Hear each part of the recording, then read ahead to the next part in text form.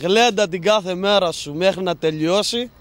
Για δε γιατί έχεις αύριο ή δεν θα ξημερώσει. Με αυτή τη μαντινάδα μας συστήθηκαν και μας προειδέασαν για το τι θα επακολουθήσει. Μια παρέα νέων θέλησε να δείξει ποια είναι η Κρήτη και πώς μέσα σε λίγα δευτερόλεπτα ένας κριτικός μπορεί να στήσει ένα γλέντι ακόμα και στην πλατεία των λιονταριών. Μια καντάδα όπως παλιά από μια παρέα νέων που θέλησε να ξεσηκώσει το κέντρο της πόλης. Οι πρώτες κοντιλιές ξεκίνησαν από την αρχή της 25ης Αυγούστου.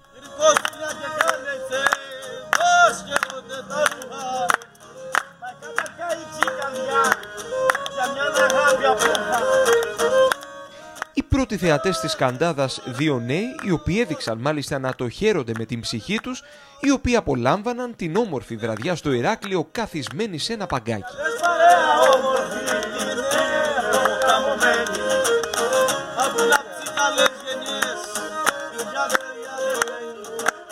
Η παρέα ωστόσο δεν έμεινε εκεί. Διέσχισε την 25η Αυγούστου και ξεσήκωσε πεζούς και οδηγούς.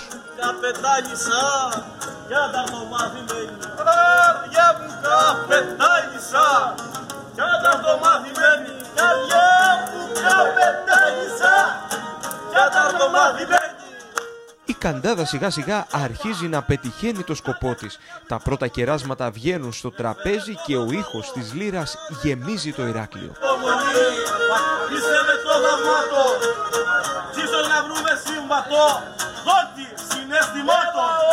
Λύρα χωρίς χορό δεν γίνεται. Δύο νέοι κάνουν την αρχή και η παρέα σιγά σιγά μεγαλώνει.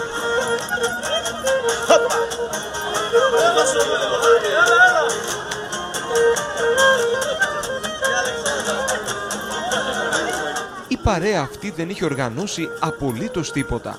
Θέλησε να θυμίσει πως η Κρήτη, το γλέντι και η παράδοση είναι έννοιες ταυτόσιμες και αλληλένδετες. Αυτή είναι η Κρήτη λοιπόν, αυθορμητισμός, λεβεντιά και ξεχωριστές μαντινάδες.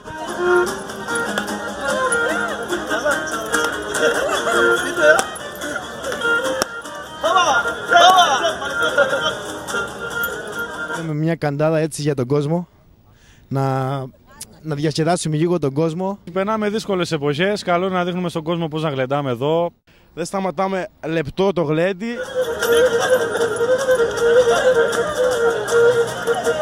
Έλα